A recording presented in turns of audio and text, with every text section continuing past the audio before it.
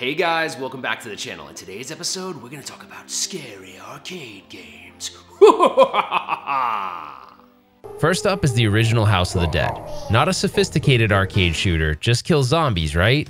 Yeah, but don't go wasting all your ammo. If you do, you will quickly realize that accuracy and ammo conservation is one of the main goals here.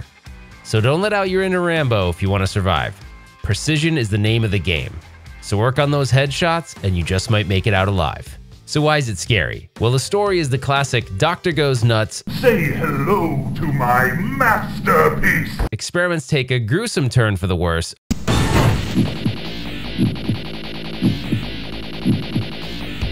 And now we have a zombie outbreak on our hands, and it's our job to fix it.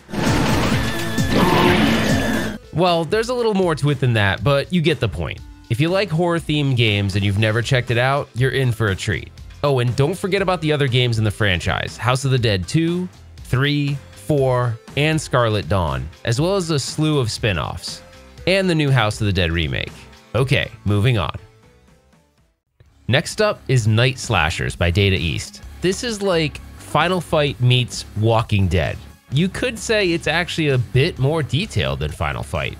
The plot, I think, is that the world has been overrun by monsters, hordes of zombies, werewolves, and other creatures, and the world is now quickly becoming unfit for humanity. Well, not unless you and your badass monster hunter friends stop the madness and kick some Rudy Poo monster asses.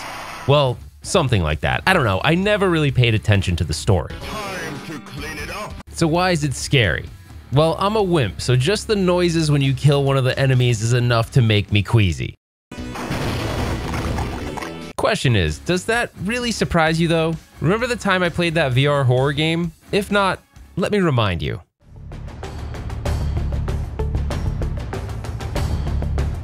I swear to you guys, I'm so done.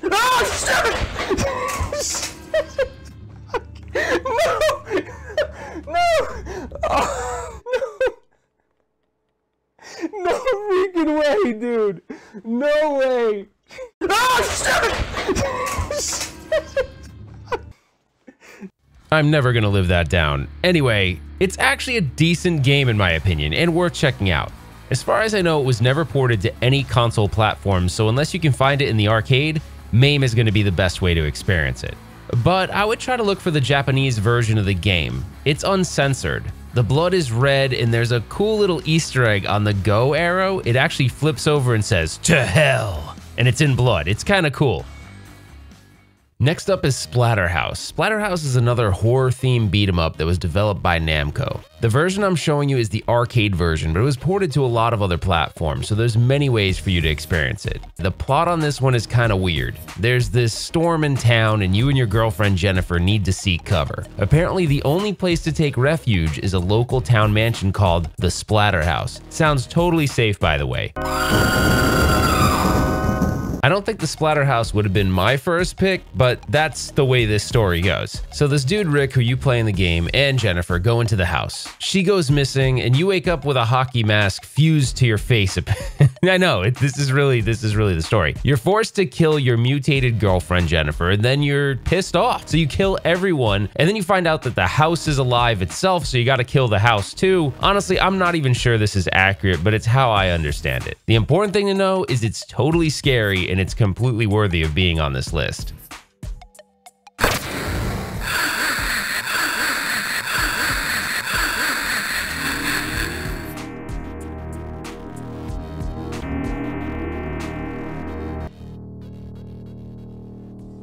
Okay, the next game is Chiller. It's a shooting game by Exidy, and this one is interesting because it wasn't widely adopted by American arcade owners, and you're gonna see why in a minute.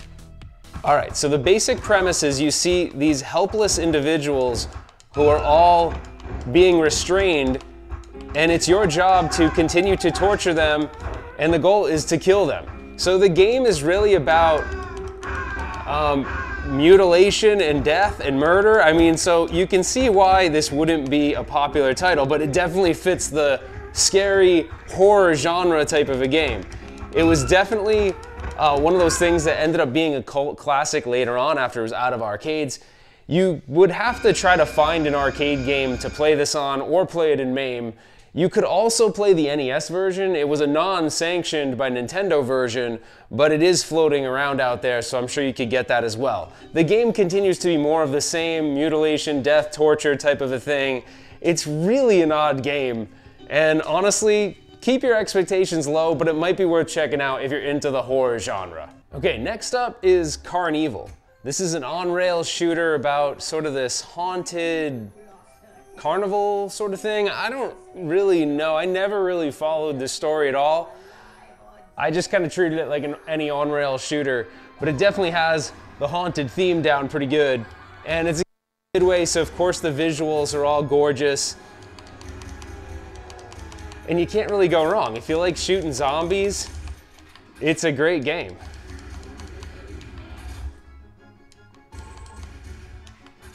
So if you want to check this one out, you're kind of limited to how you can check it out. You're gonna have to find a CarnEvil arcade, or you can do like I'm doing and play it under emulation. So either way, it is available to you. It's just not like you can go and, you know, you have to find an arcade that has it if you want to play it.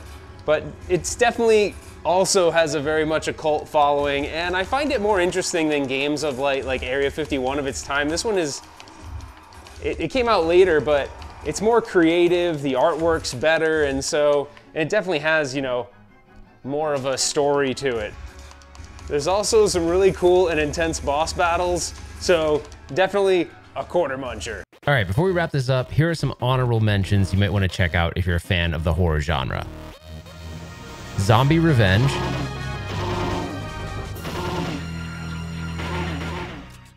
Ghosts and Goblins,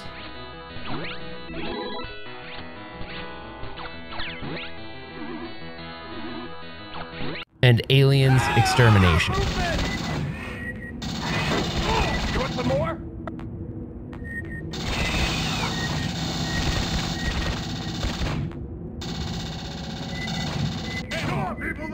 Let's go, let's go!